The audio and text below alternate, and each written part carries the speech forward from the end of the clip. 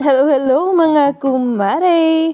Welcome sa ating panibagong kabusugan na pwede mong pagkakitaan. Today ay gagawa tayo ng homemade magnum ice cream at kung interesado ka, just keep on watching.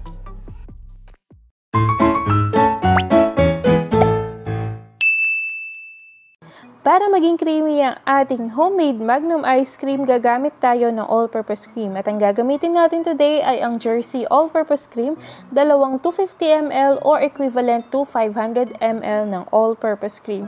At saktong-sakto dahil alam nyo ba na ang Jersey All-Purpose Cream ay magsisale sa Lazada ngayong April 4 from 53 pesos ay magiging 25 pesos na lang ang ating Jersey All-Purpose Cream. Kaya i-add to cart mo na yan kumare dahil ako marami na akong naka-add to cart nitong All-Purpose Cream na ito. Saktong-sakto kung ininegosyo natin yung recipe natin today, malaki yung ating maitutubo, di ba? Kung bago ka sa aking channel, hello, hello! Make sure to subscribe and click the notification bell para lagi kang updated sa ating mga panibagong cravings. Para sa ating next step, i-beat natin yung ating all-purpose cream hanggang sa mag-double yung kanyang volume. So, ang gagamitin ko lang dito ay wire whisk. Dahil easy whip yung ating jersey all-purpose cream, pwedeng-pwede na wire whisk lang ang gamitin. Pero kung meron kayong stand mixer or hand mixer, pwede rin na gumamit kayo nun. At itong ating next ingredient ay bago ng Jersey, vanilla flavored at sobrang sobrang bango niya. Alam mo yung um, Victoria's Secret na vanilla, parang ganun. Kaya na-amaze ako nung pagbukas ng lata, ang bango-bango talaga niya. So, itong buong to ilalagay natin at lahat po pala ng sangkap na ilalagay ko dito sa ating recipe ay kailangan po ay chilled sila or napalamig na natin overnight. Huwag po sa freezer dahil masisira yung cream nyo, kailangan sa chiller lang po natin sila palalamigin. Maglalagay din tayo ng evaporated milk, 370 ml at malamig din po yung evaporated milk natin. So, umimix lang natin lahat ng mga sangkap na yan hanggang sa maging well combined na sila at kailangan dahan-dahan lang po yung paghalo. Pag nahalo na natin lahat ng mga sangkap, pwede na nating ilagay sa ating mga molders. So, ang gagamitin ko ay yung mga plastic cups na 5 ounce. Tapos, ang ilalagay ko na mixture ay 1 half cup para pantay-pantay yung ating mixture sa bawat cups. At ang magagawa natin dito ay 14 pieces. So, yung kalahati ng mixture, nilagyan ko siya ng crushed cookies. Pwedeng kahit anong flavor na idagdag nyo or mga nuts, pwede kayong maglagay dyan. Para mas madaming variation or variant yung inyong Magnum ice cream.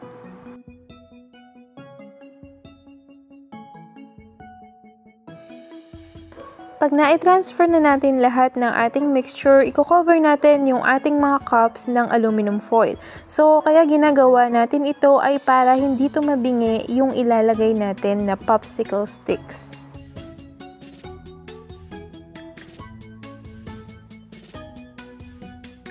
Pag na-assemble na natin yung ating mga popsicles, pwede na natin silang i-freeze overnight or hanggang sa tumigas yung ating mga popsicles. At pag matigas na sila, pwede na nating i-prepare yung ating coating. Para sa coating natin, gagamit tayo ng 200 grams or 1 bar ng Van Houten or Van Houten na semi-sweet chocolate. Hindi ko alam paano i-pronounce. Pero ang alam ko, sobrang bongga ng chocolate na ito dahil isang kilo nagre-range lang yung price niya from 250 to 280 pesos. Saktong-sakto or pwedeng-pwede sa mga nagnenegosyo ng kahit anong pastry or desserts, ba? Bonggang-bongga siya. At kahit mainit yung panahon, buo pa rin yung mga bloke niya. Ayan, as you can see, bago ko chinap, ba? Buo pa rin siya. At para i-melt natin ito, kailangan natin ng hot water yan. Tapos, ilalagay ko lang dyan yung aking stainless na bowl. At ilalagay ko din dyan yung mga na-chop natin na chocolate. So, semi-sweet ang ginamit natin para hindi sobrang tamis yung ating popsicles. Para meron siyang konting pait. Pero yung lasa, ganun pa rin. Masarap pa rin, di ba? Nagbabalansi lang yung kanyang timpla. So yan, ang bilis lang niya mag-melt sa hot water at hindi na siya kailangan i-temper na hindi rin ako marunong kung paano yun. At ililipat ko lang siya sa baso para dyan natin ididip yung ating mga popsicles. Tatanggalin na natin sa mga molders yung ating mga popsicles at para hindi tayo mahirapan, idip lang natin ng mabilis sa tubig. Huwag mainit na tubig, room temperature lang na tubig. Okay na yan, madali na siyang tanggalin. And then, ididip na natin sa chocolate yung ating mga popsicles. So, kailangan mabilis lang din yung pagdip natin dahil pag nagtagal siya dun sa loob, mas makapal yung magiging coating mo. Pero kung gusto mong makapal, tagalan mo. Pero kung gusto mo na sakto lang yung coating mo, mabilis lang yung pagdip dahil mabilis tumigas yung ating chocolate.